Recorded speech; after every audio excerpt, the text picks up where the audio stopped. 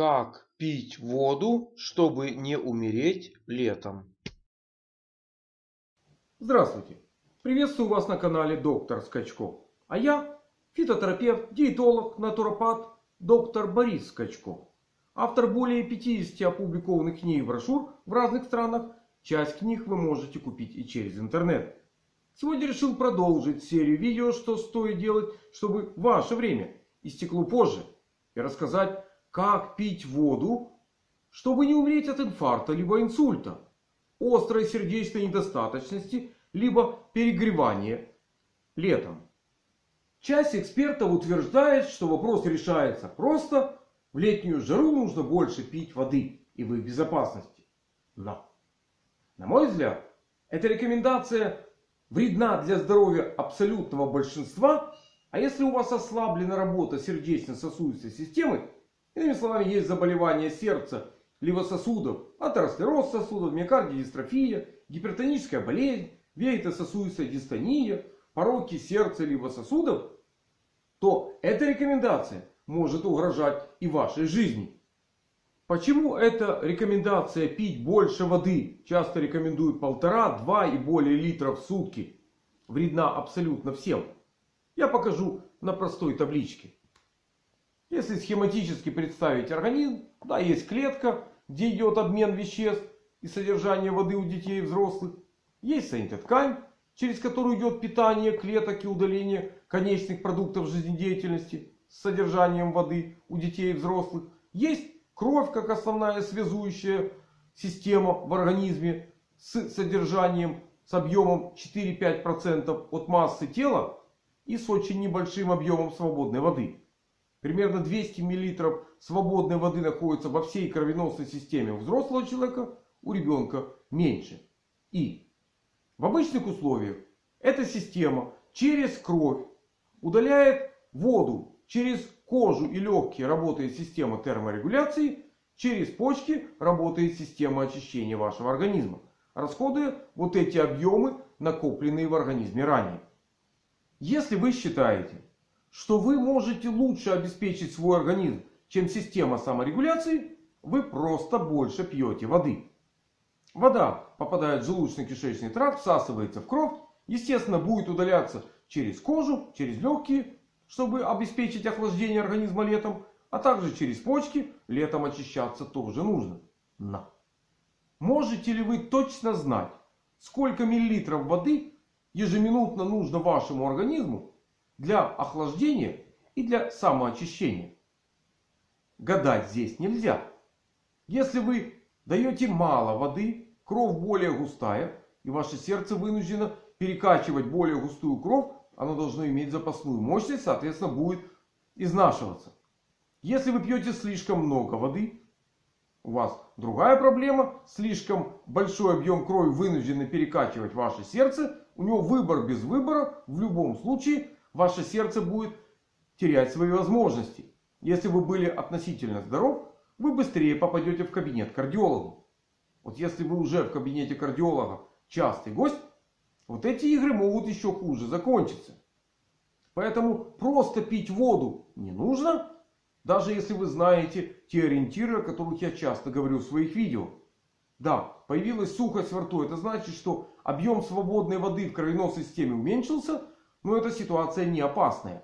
У вас есть возможность правильно выпить воду и компенсировать потери воды, восстановить водный баланс, правильно его поддерживать. Хуже, если у вас появилось чувство жажды. В этом случае у вас уже выбора нет. Вы пьете любую воду, включая неочищенную болотную. От инфекции, которые таким путем попадут в ваш организм, вы погибнете через несколько дней. А чувство жажды может остановить ваше сердце здесь и сейчас. Поэтому тут рисковать не нужно. Нужно правильно ориентироваться. Но для того, чтобы правильно ваш организм участвовал в процессе охлаждения и самоочищения летом, есть один очень знающий орган, который точно знает, сколько воды вам нужно. Это не ваша интуиция. Это не врачебные знания. Это ваш гипоталамус. Который в естественных условиях самостоятельно управляет этим процессом. И для того, чтобы это управление, эта саморегуляция происходила правильно и самое главное безопасно для вас, нужно не водой пытаться ему помочь, а правильно создавать резервы и поддерживать резервы в клетке и в соединительной ткани. Откуда ваш гипоталамус будет расходовать правильно на охлаждение и очищение организма. Если вы понимаете разницу между этими двумя процессами, не забудьте поставить на это видео лайк. Я думаю, уже пора поставить лайк на это видео, понимая, что здесь, в этом процессе, либо ваше здоровье, либо на кону стоит ваша жизнь. И это серьезная проблема. А вот как правильно помочь вашему гипоталамусу обеспечивать бесперебойную работу вашего организма, в том числе и в летний период, вы узнаете прямо сейчас. Чтобы не рисковать здоровьем и жизнью в летнюю жару, нужно не просто знать, как пить воду, чтобы не умереть от инфаркта либо инсульта, а как перебросить воду через кровь. Это достаточно серьезный барьер для некоторых видов воды, но не для всех. И полезный совет диетолога. Для того, чтобы вода проскочила кровь и наводнила соединительную ткани клетки. И дала возможность вашему гипоталамусу экономно расходовать каждую каплю воды и на охлаждение организма, и на очищение, применяйте систему под названием фрукторианство. Сочные фрукты и ягоды содержат не просто достаточно много воды, причем очищенной растениями, но это не простая вода, это связанная вода с теми полезными веществами, которые находятся в соках этих плодов. Именно эта вода вместе с полезными веществами пройдет спокойно вашу кровь, окажется в соединительной ткани в клетках. И тут ваш гипоталамус включается в работу. Эта система проверена в условиях жаркого и влажного климата. И люди, которые ее там применяют, они живут дольше. Кто использует белковую пищу в таких же жарких условиях, живет меньше. Белки вносят в организм 9 килокалорий, из них 5 рассеивается в виде тепла. И в летнюю жару белки могут вызвать легко перегревание организма. Более того, после белковой еды несколько часов у вас жесткий высокий кардиологический риск. И почему он возникает, я вам расскажу буквально прямо сейчас.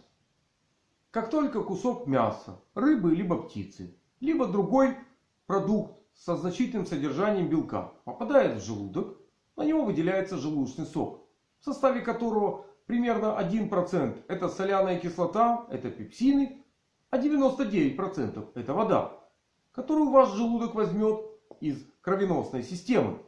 Иными словами, трафик воды через соединительную ткань и кровь ваш желудок резко увеличился. И одно дело, если вас окружают достаточно комфортные погодные условия с температурой окружающей среды ниже, чем плюс 24 градуса по Цельсию. Температурный оптимум, напомню, для человека от плюс 18 до плюс 24 градусов по Цельсию. Если вы в таких комфортных условиях, ну, даже человек с ослабленной сердечно-сосудистой системой легко перенесет такую нагрузку. А если вас окружает летняя жара, когда температура плюс 24 градуса по Цельсию и выше. И чем выше температура, тем более значительный трафик воды у вас идет через соединительную ткань кровь. Для системы терморегуляции испаряясь через кожу и легкие. Ну и для очищения организма через почки. И дополнительная нагрузка может эту систему нарушить. Если у вас после белковой пищи появилось чувство жажды, это показывает, что ваш гипоталамус не успевает поддерживать кровь в более жидком состоянии. И вы жестко рискуете. Причем удовлетворить такое чувство жажды в домашних условиях у вас вряд ли получится. Если вы просто выпьете воду, вы разбавите желудочный сок и пищеварение затормозится.